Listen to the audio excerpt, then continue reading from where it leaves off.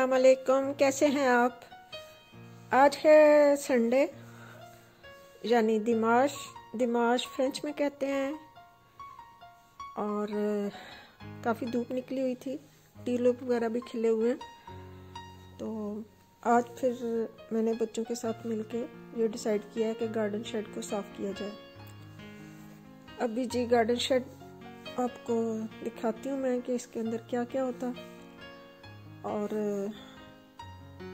इसमें सारा गार्डन की चीज़ें पड़ी होती हैं सारी और, कुछ एक्स्ट्रा चीज़ें जो होती हैं वो भी पड़ी होती हैं। सर्दियों में तो यहाँ का चक्कर नहीं लगता, गर्मियों में यहाँ पे अक्सर आना होता है।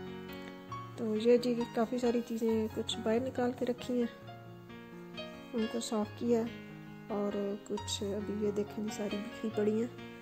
अभी इनको सही साफ़ करके तो दोबारा समेट के रखेंगे। अभी जी हमने सारा साफ़ किया और दोबारा चीज़ों को रखा। इसमें गार्डन चेयर टेबल पड़े होते हैं, बच्चों की साइकिलें होती हैं और गार्डन में जो चीज़ें यूज़ होती हैं, वो पड़ी होती हैं।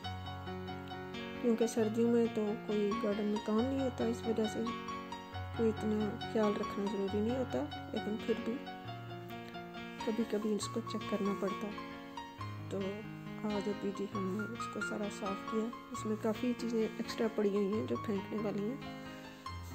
वो भी अभी नहीं फेंक सकते क्योंकि कोरोना की वजह से बाहर हम नहीं छोड़ सकते वो चीज़। चलेंगे गार्डन की होगी सफ़ाई।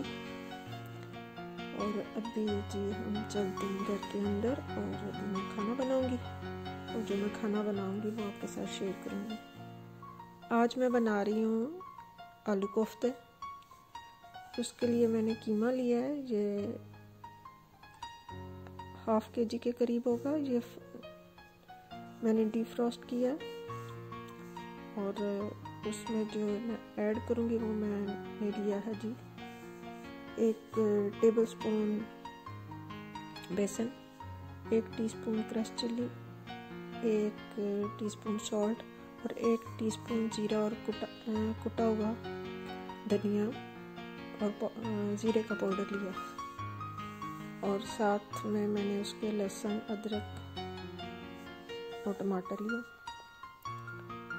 सबसे पहले मैं कोफ्तों का मसाला तैयार करके रखूँगी। कोफ्तों में मैंने बेसन, मिर्चें, नमक और मसाला डाल के इसको हाथों की मदद से अच्छी तरह मिक्स करूँगी।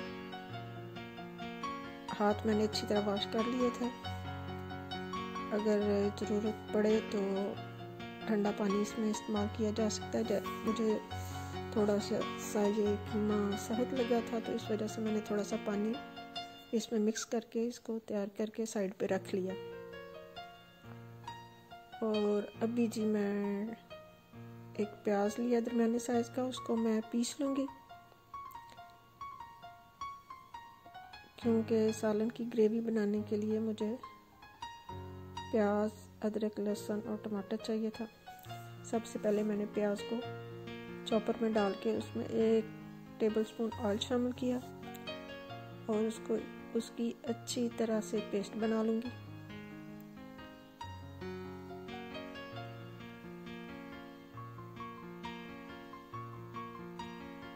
ये देखें जी, बिल्कुल बारीक पेस्ट बन गई है।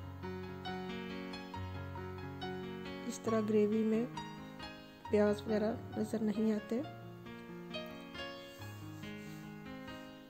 और अभी इसमें मैं पैन में शामिल करके एक टेबल स्पून ऑयल शामिल किया और उसको ब्राउन होने के लिए रखा मैंने और फ्लेम मैंने ऑन किया।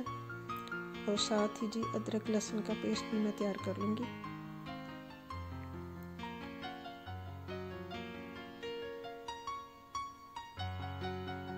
अदरक लहसुन का पेस्ट तैयार करने के लिए मैंने इसमें ऑयल शामिल नहीं करूँगी, इसमें मैं पानी शामिल करूँगी।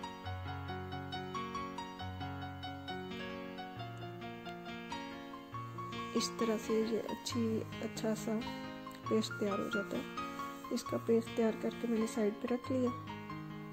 और अभी जी टमाटर को मैं काट लूँगी टमाटर फ्रीज़ है, इसलिए काटने में बड़ी आसानी से कट जाता है।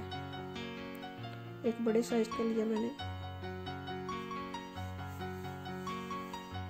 और ये जी प्याज फ्राई हो रहा है, इसको ज़्यादा ब्राउन नहीं करना मैंने। जब हाफ़ फ्राई हो जाएगा तो इसमें मैंने शामिल करूँगी अदरक लहसुन का पेस्ट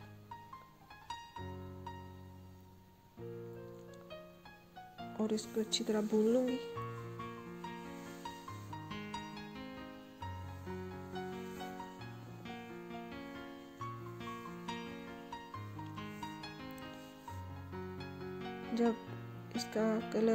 लाइट ब्राउन हो जाए तो फिर इसमें मैं टमाटर ऐड करूँगी। ये देखें जी कलर ना ज़्यादा डार्क है, ना ज़्यादा लाइट है। अभी मैंने इसमें टमाटर शामिल किए हैं।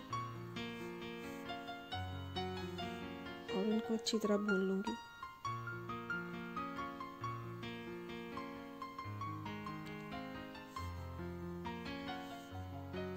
और साथ ही इसके मैं रेड चिल्ली शामिल करूँगी।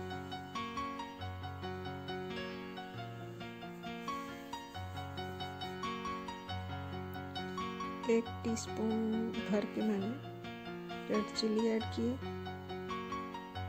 और साथ ही एक टीस्पून सॉल्ट ऐड किया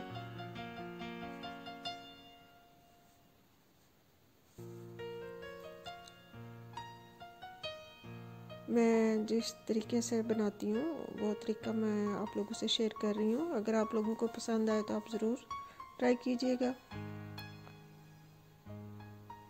और मसाले को थोड़ी देर के लिए डांप के रख देते हैं ताकि टमाटर वगैरह अच्छी तरह गल जाए। और साथ ही मैं कोफ्ते तैयार कर लेती हूँ। हाथों पे ऑयल लगा के कोफ्ते बना लूँगी। ना बड़े साइज़ के और ना ही छोटे साइज़ के, मैं दरमियाने साइज़ के बनाऊँगी। कोफ्ते मैंने तैयार करके रख लिए और अभी देखते हैं जी मसाला कहाँ तक पहुँचा।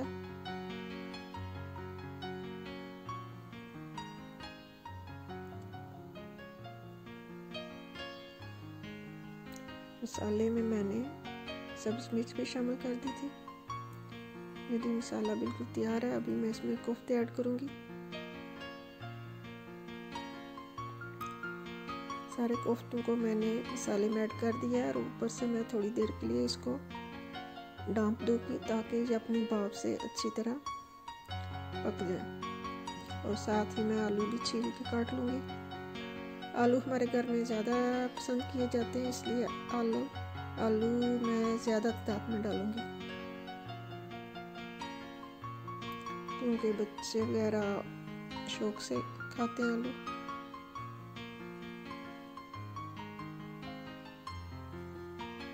आलू मैंने छील के काट के धो के रख ली है और अभी जी कोफ्तों की बुनाई करते हैं।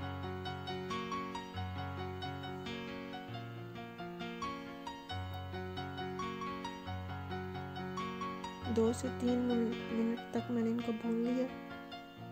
और अभी मैं इसमें शामिल करूँगी आलू।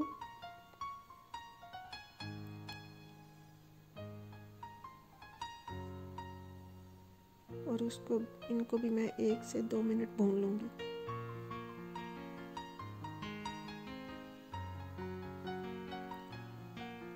और साथ ही मैं थोड़ा सा पानी गर्म होने के लिए रखूँगी, क्योंकि अगर नीम, गर्म पानी शामिल किया जाए खाना बनाते वक्त तो खाने का बड़ा अच्छा टेस्ट आता। और अभी मैंने पानी शामिल किया और जितना मुझे इसमें शोरबा चाहिए, मैं उतना पानी डाल रही हूँ।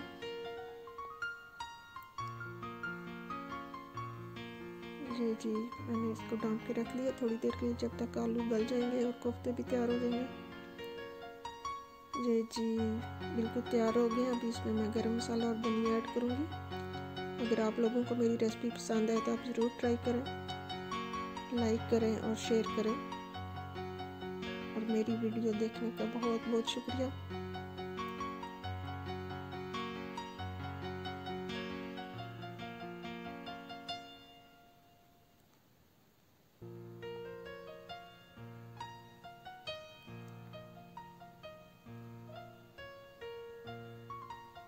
ओके जी।